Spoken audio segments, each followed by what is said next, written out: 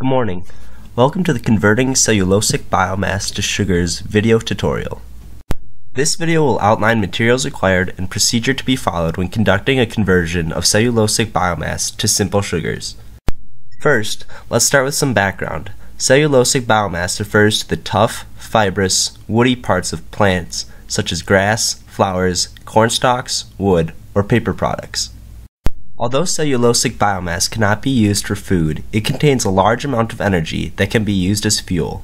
It is mostly made up of a molecule called cellulose, which is the primary component of plant cell walls. Cellulose is the most abundant molecule on Earth and represents a huge potential pool for renewable energy if converted into transportation fuel. Companies are spending large investments in research to discover methods to efficiently convert cellulosic biomass into ethanol. In this lab, we will investigate the process for converting cellulosic biomass into simple sugars. The sugars can then be used for fermentation in a later lab, but could also be converted into food, feed, or chemicals. First, choose 2 to 3 biomass samples and decide on a cutting or grinding treatment and a time you will grind each sample of biomass for. Write down an initial claim based on your current knowledge and available evidence.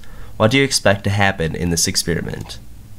With each of the chosen samples, after the grinding or cutting treatment, weigh out 1 gram of biomass, placing each into a separate 50 milliliter Falcon tube along with one blank sample.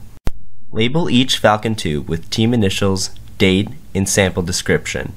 Next, start the hot plate to bring 200 milliliters of water to a gentle boil in a 400 milliliter glass beaker.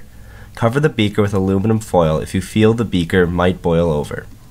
While the water heats up to a boil, Add 20 milliliters of sulfuric acid solution to all of the labeled 50 milliliter Falcon tubes, including the blank. Swirl the Falcon tubes to mix the biomass and acid. Let's sit for one minute. Test the pH of each solution. Record this data. Test the initial soluble carbohydrate concentration using the refractometer. Record the Brix number along with the liquid volumes and mass. When the water in the beaker on the hot plate comes to a gentle boil, Push all Falcon tubes into the beaker. Make sure that the biomass samples and the liquid are completely submerged below the surface of the boiling water in the beaker. You may need to use aluminum foil to do this. Leave the tubes in the water for at least 10 minutes, then turn off the hot plate. Let the samples cool to room temperature. Test the soluble carbohydrate concentration using the refractometer once more. Record this data along with liquid volume based on mass. Make sure the common water bath or incubator is at 50 degrees Celsius.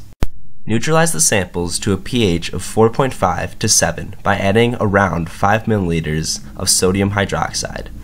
Add a little at a time so the pH does not exceed 7.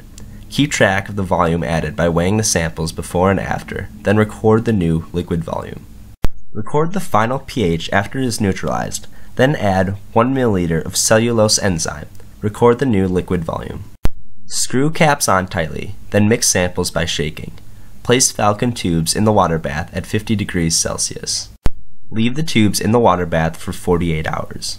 Test the soluble carbohydrate concentration using a refractometer one last time and record.